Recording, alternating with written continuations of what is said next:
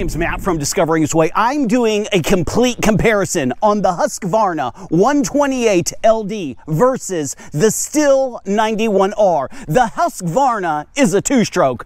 The Stihl is a four-stroke. Roughly about the same weight, but there are vast differences between these two units. This unit is 239, this unit is 329. The Stihl $70 more. Husqvarna has a half inch larger cutting swath, which is 17 inches compared to the Stihl 91R, which is 16.5 inches. These have a 28cc engine. So let's get a close up, see the differences, and then I'll put them to work and I'll tell you a story how I got my hands on the Husqvarna. Let's go over some differences. This is made in China. This is made in America. This is cheap plastic. Uh, this has melted. I've seen guys out there in the field, they've actually overheated this unit and melted this, which I think is crazy because something broke internally ahead and it moved everything to one side and it basically caught on fire. Stihl's casing is made out of ballistic polymer. Now guys, when you're looking at your primer pump, let me pull this one up so you can see it.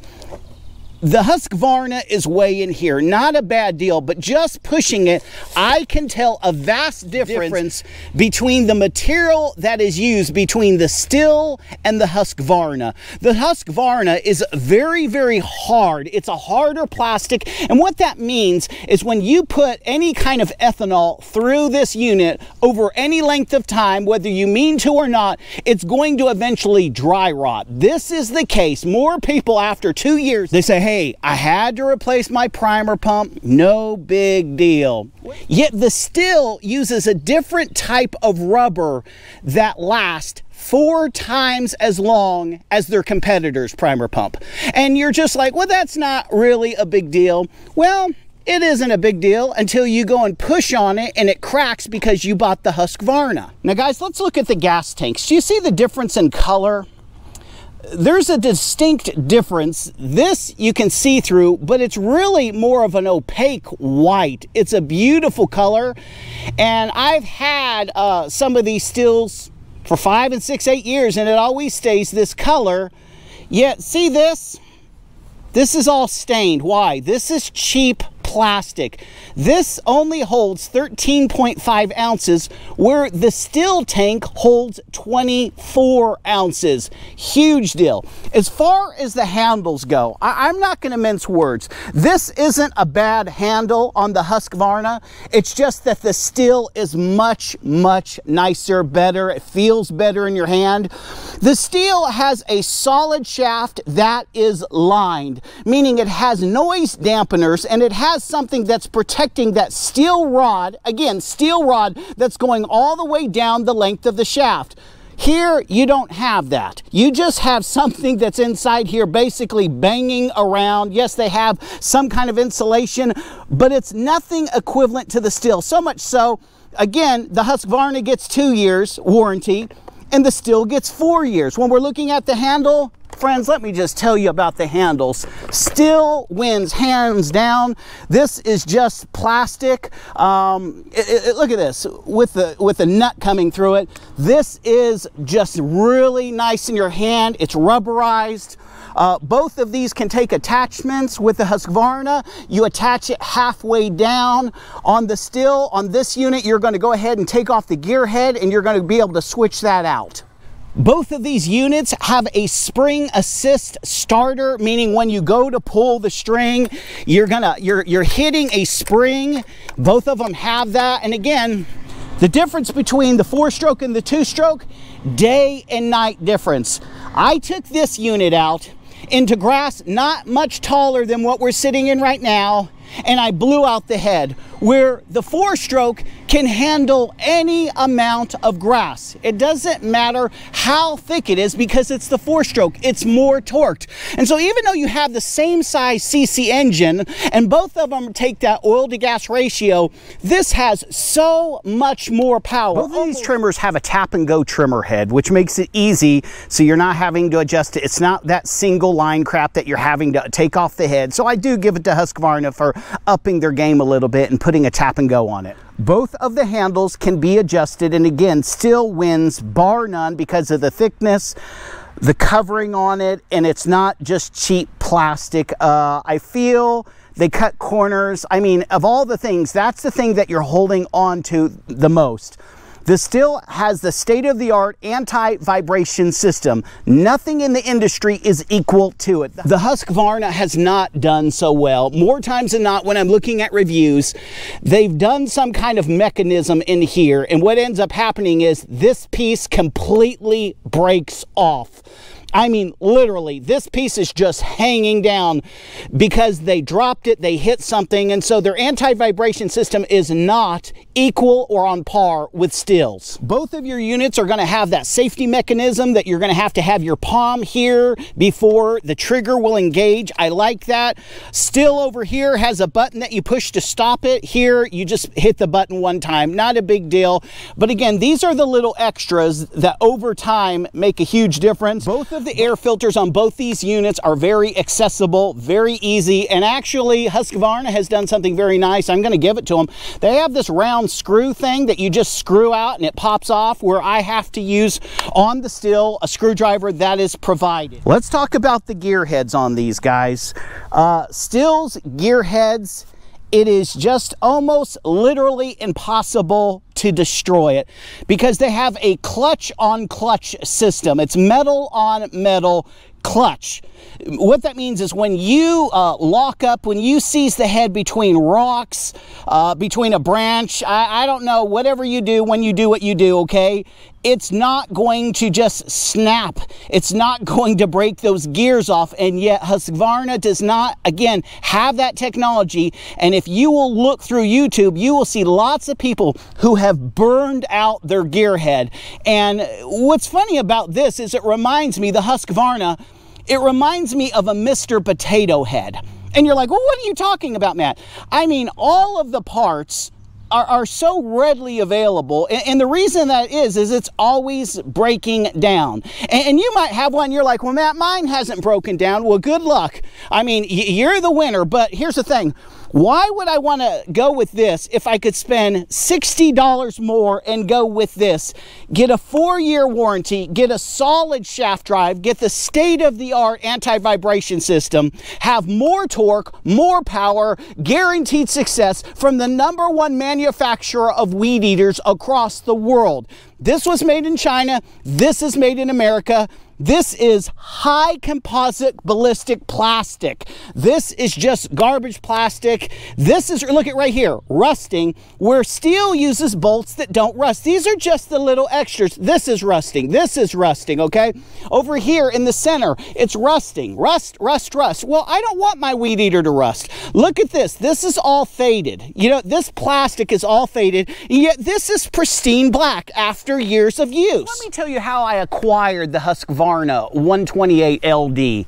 I was looking at Facebook Market page and they were listing near my house a garage sale, yard sale, and it said all types, all kinds, high-end trimmers, chainsaw, weed eaters, uh, cheap, cheap, cheap. And I thought, crap, are you kidding me? And the reason I said that is because whenever I can pick up a piece of Stihl at a garage sale, that, that is a rarity. Will I show up, and I'm not kidding you, there must be 35 of these in a row in the grass. Echoes, Husqvarnas, and I'm, I'm looking around, it looks like, okay, if you like Husqvarna and Echo, it looked like a candy store. I mean, every, all the brands going up and down, and they all ranged in different prices. And I go, partner, where did you get all these? He says, well, I, am a mechanic, you know what I'm saying? And I tinker with engines and stuff. And I says, yeah, but where did you get them? You know what I'm saying? Because guess what he sold this to me for? 20 bucks. Uh, uh, what? $20. And, I, and he started it up and, and it ran. And they sell these units to the guy I bought it from for five bucks a piece. And so what he does is he takes 20 of them and he takes the parts off this one and he puts them on this one. he takes this gear head and this, this shaft and this and this and or this. My friend can buy them and take them home. I have to stamp an R in this unit for reject, refurbish, before my guy can take them and fix them. And so what he does is he buys them for five bucks takes the parts off of this one, takes the parts off of this one, and I ask, what normally is wrong with them? He says the gear heads, they seize up like there's no tomorrow. It's garbage from China. The carbs are good for one or two seasons, and then you can just buy one from Amazon for 15 to $20. The shaft, oftentimes they snap within the shaft, the, the rod, which isn't really a strong rod, it snaps, and he just starts going over all the problems. He says the anti-vibration system, oh my goodness, it just breaks here, and then I just have to salvage the engine. I can't fix it. I don't even want to fool with it. And so look, I'm looking at a lawn that's just nothing but Echo, nothing but Husqvarna. And I ask this question, do you have any by, by chance Stihls? Do, do you have any Stihls at all? He goes, oh no, we never get those. They never break down. And so this was running. Listen, listen, listen. This was actually running for about 15 minutes. Okay, and so I'm in the yard and I'm I'm thinking, you know what, for 20 bucks, this ain't too bad, right? And what do you think happens? the gearhead seizes on me. The gearhead. So now I have I have the engine that's working, but it wasn't listen, listen, listen. I want to shoot straight. While the gearhead was working, it was not a strong weed eater. There was nothing behind it. There was no power behind it. I'm about grass that's been left a week and a half, and I just need to kind of go around a fence line, go around trees and stuff. It just couldn't handle it. I mean, literally couldn't handle Friends, it. Friends, do you realize I have nightmares? I have a nightmare that someone says, Matt, I need you to clear a lot, and this is what they hand me. A Husqvarna 128 LD. And I have to take something like this down. You know what? I, I, think honestly, a guy that owned one of these, he would know right up front because he can barely go around mom's tulips. He would probably piss his pants because this is garbage. This is marketing. This is copycat technology. Even the orange. The only thing this trimmer has in common is a slight shade different of the orange that what? Stihl uses. It really is garbage. It's not worth anything. I lost $20, but maybe you could save some money and spend $70 more and get the Stihl product. When someone's giving you a four-year warranty versus a two-year warranty, there is such a reason. I mean, are you kidding me? The braking horsepower, that's the horsepower that the engine produces before it goes down the shaft.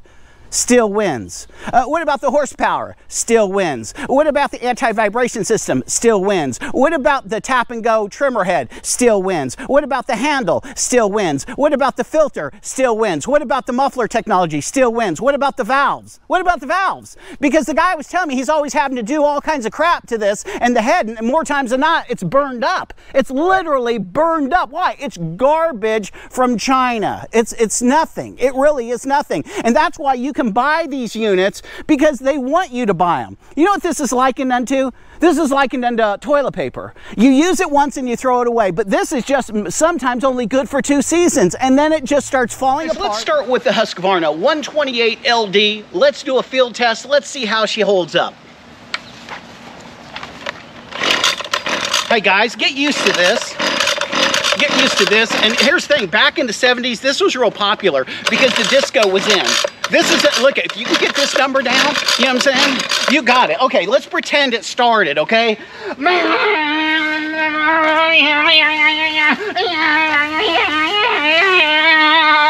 Get a close up, get a close up, Tracy.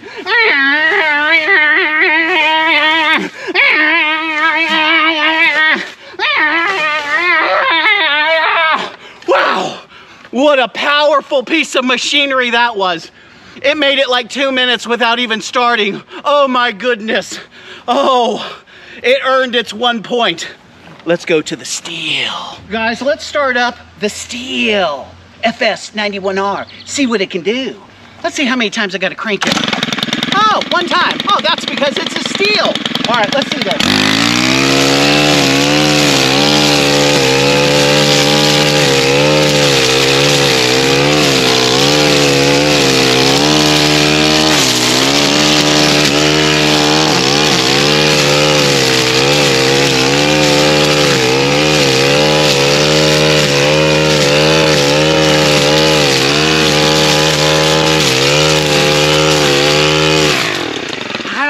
I think the other one might be more powerful. Just a second. Keep on filming, Tracy. Just a second. Just a second. Let's see. Let's see. Let's see.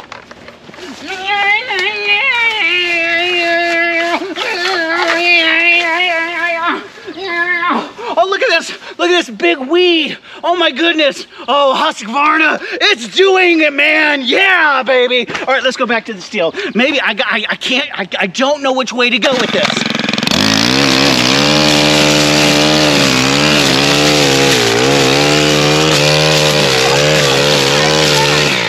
Say hello to my good friend, baby.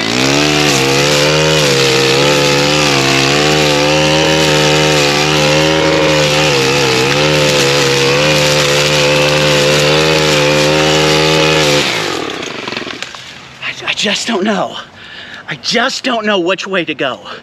I mean, the torque is probably a thousand times more than the Husqvarna, and yet I like the way that Husqvarna sounds, don't you? You know what that could be? That could be you driving back to Lowe's to return it, and you're grinding your teeth. What a piece of crap did I buy? One time in the yard and it breaks. And that's normally what takes place. They're gonna break, they're gonna break within the first five times that you use them, and then about a year and a half down the road. I'm not kidding you. Friends, stick with the Stihl. You can never be wrong, you can never lose. They have a warranty that backs and a tradition for excellence that's been around for 40 years. Hey, this is Matt from Discovering His Way.